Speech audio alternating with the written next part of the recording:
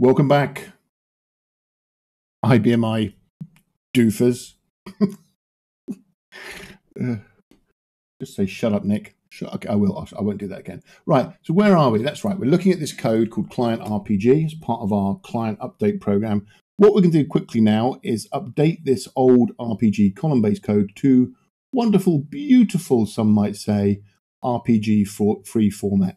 Now, there used to be lots of different ways of doing this. Obviously, you could manually type in the old style, convert it, and type it into SEU, or you could use RDI if you want to pay thousands of dollars to update your code.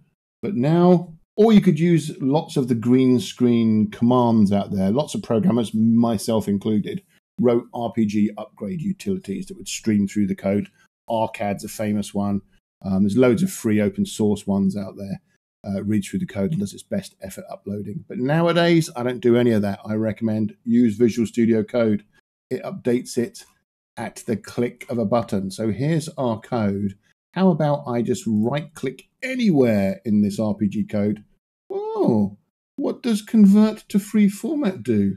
I wonder. Well, let's see. Boom! Modern RPG code. Wait, there's all kinds of yellow error messages happening in there. What the heck is going on? I hear you asking. Well, you're right. These aren't error messages. Yellow is just a warning.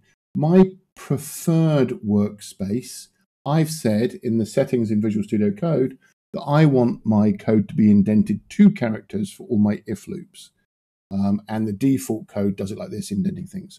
But I can fix all of that auto magically using Visual Studio Code as well. Right, I just right click and say format document. It will now format the code to my preferred style layouts.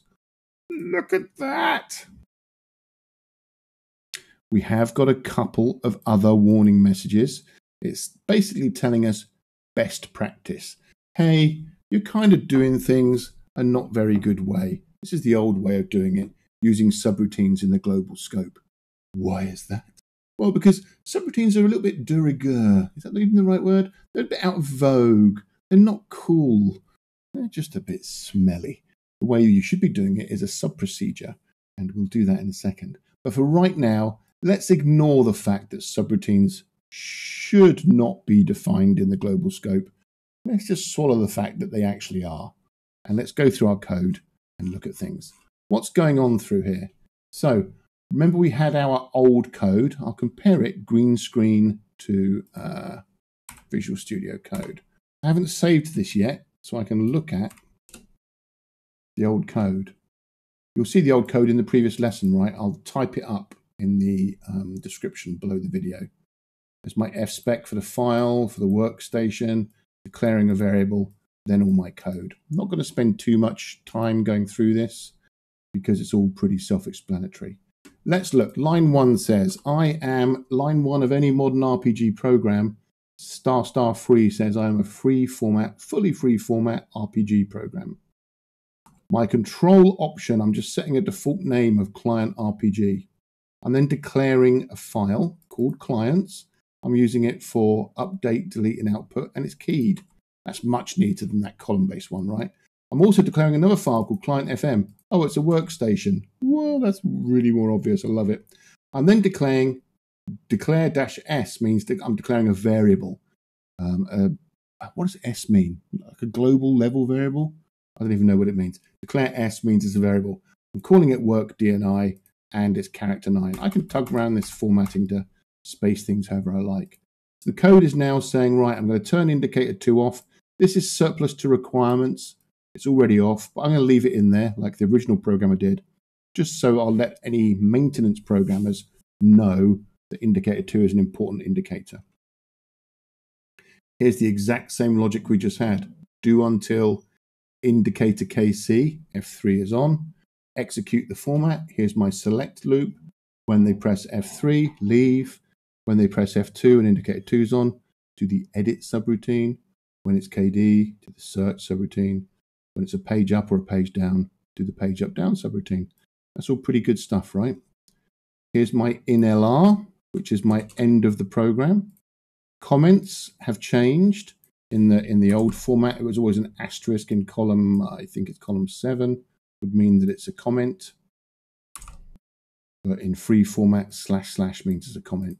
After the slash slash, you can really do anything you like. If I wanted to do something like that, I could. Personally, I prefer the dashes to the asterisks, right? Here's my subroutine. Begin subroutine, search. Just a warning, it will work. Here's the same piece of code. Right. Notice there's one of the C specs here. This is because um, the free format converter wasn't quite too sure what to do. Now I know what this is doing. So what this is actually doing is this is saying go and read this file with this key value, but not for update. So we're still doing the chain command. It's not case sensitive. I can type however I like. Um, we then put our key field, in which in this case is disp dni. If there were multiple fields, I might do something like uh, field one, field two, and then go to the file name. Okay, that's how we read it. But in, in our case, we're just going to do disp dni. We want to specifically retain that asterisk n that says don't read it for lock. Ignore Visual Studio Code telling me that my coding is not very good. I'm then saying indicator 31 is important. So what I can say is percent not found. Then turn on indicator 31. Otherwise, turn indicator 31 off and if. And now if I run a little format to tidy things up, there's the same piece of code. Now, of course, I can also do things like, like if 31 is on, then it's going to iter, right? So let's move that into the iter statement. And we can get rid of this loop. You with me?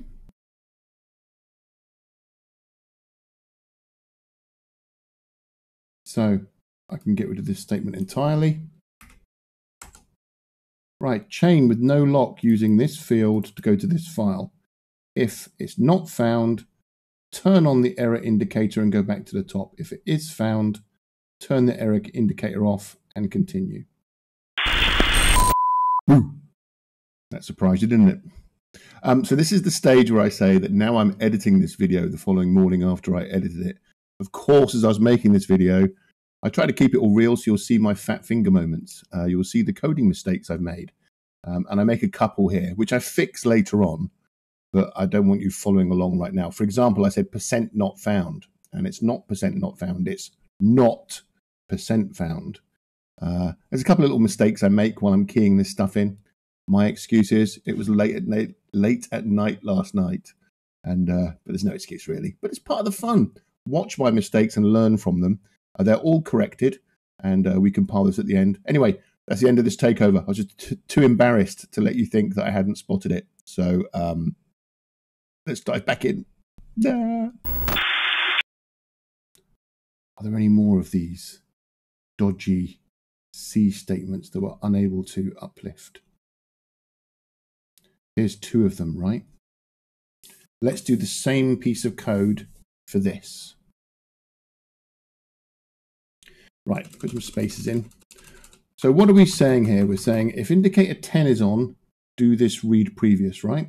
So we'll say asterisk indicator 10. So if indicator 10, they're only ever, well, let me make it really obvious for you, and we'll get fancy in a minute. If indicator 10, we're going to read previous. So we'll say read previous. We don't want to lock it. The file Then if percent EOF. I know that's confusing. EOF means end of file, but it also means beginning of file. It should be EOF BOF. So if we hit the beginning of the file on a read previous, then we want to turn on indicator 99.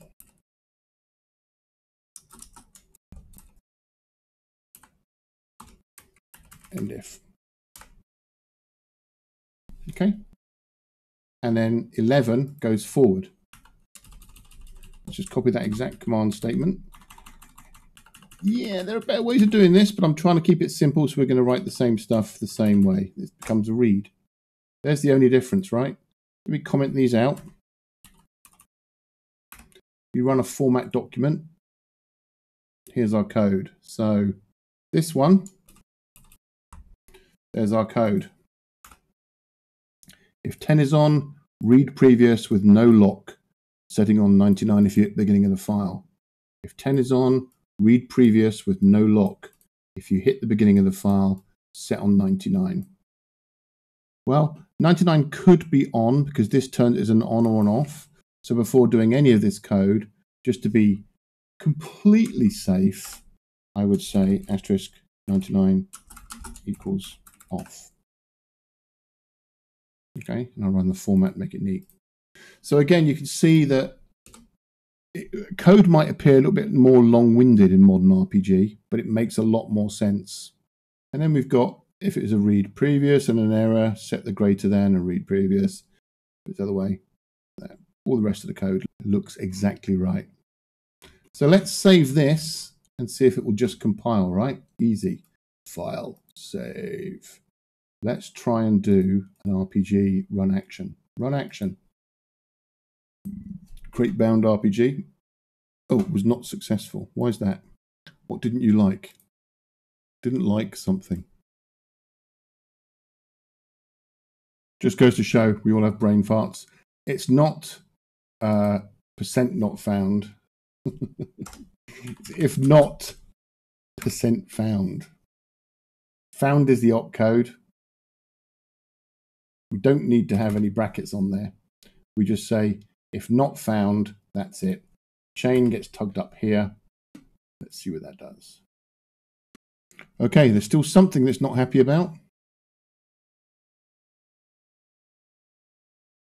Again, you've got to have the N right next to the read P. Can't be floating out there as its own value. It's been a while. Forgive me for being so sloppy. Nick Litten client RPG was successful. So there's my code. So we know what done. I'm going to get rid of the comment, commented out code as well, just so it looks really neat. Run one last final format documents and everything's happy. File, save it, right click, run action, create bound RPG, off she runs, Nick Litten client RPG was successful. Let's call that from our code and see what happens, shall we? If I look at the code now in SEU, you can see that, oops, you can see that if I left window, it's all in free format. And if I call it, you can see that it's working exactly the same. Ba -ba -ba. Okay, what's next in our modernization journey? So that was a simple little quick video. Let's now convert these subroutines to sub-procedures. Come back in a minute. This is where the end screen will be going woo or something. and then the next video, the next exciting chapter will be any second now. Come back. Come back and join me for subroutines to sub-procedures.